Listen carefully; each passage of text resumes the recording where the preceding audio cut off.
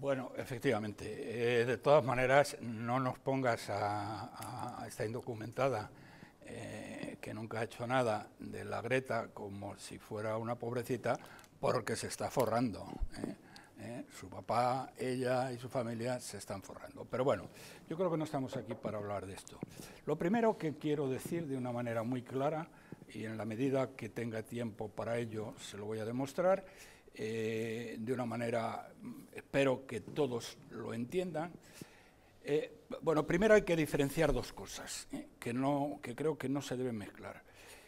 una cosa es la contaminación, que contra la contaminación hay que luchar, y hemos visto este ejemplo de este chico que es premio Google y creo que es, mm, acabará, acabará siendo una persona muy importante con unas empresas que se dediquen a limpiar el mar. Una cosa es la contaminación, que eso nadie lo puede discutir, eh, no solamente la del mar, sino la contaminación ambiental. Hay ciudades en algunos sitios, por ejemplo en China, en India, que tienen una contaminación verdaderamente brutal.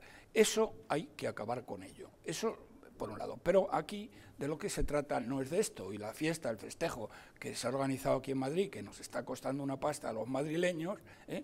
es sobre el cambio climático. Bien.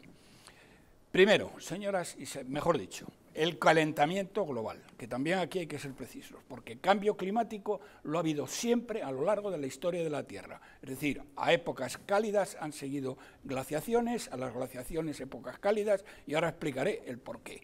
El calentamiento global. El calentamiento global, señoras y señores, es la mayor estafa que se ha hecho a la humanidad en los últimos tiempos y donde ha caído básicamente eh, eh, las organizaciones Mm, llamémosle globalistas, eh, eh, eh, izquierdistas de los países desarrollados, porque claro, que le cuenten esto a los chinos, que le cuenten esto a Maduro, porque, hombre, Iglesias, podrías ir a contárselo a Maduro, lo del cambio climático, que se iba a caer por eso de risa, o a los ayatolas, o, en, Corea del Norte, o a los Castro. Bien.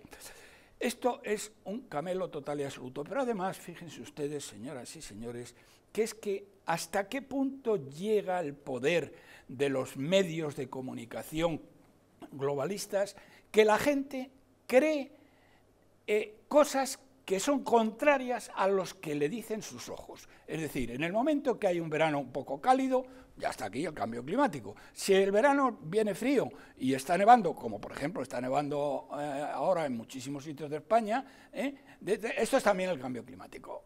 Verdaderamente eh, es tremendo. Pero miren, les voy a decir una cosa, y luego continúo explicando las razones por las cuales no existe esa cosa que se llama calentamiento global. Miren ustedes, si fuera verdad que hay un calentamiento global, que no lo es, no lo es, eh, luego no, no, sé si habéis podido, eh, tengo un gráfico, pero bueno, luego hablo de él. Pero bien, si fuera verdad, señoras y señores, España es un país que tiene una gran cantidad de costas. ¿eh? Y todos ustedes o viven en las costas o han estado de veraneo en algunas de ellas.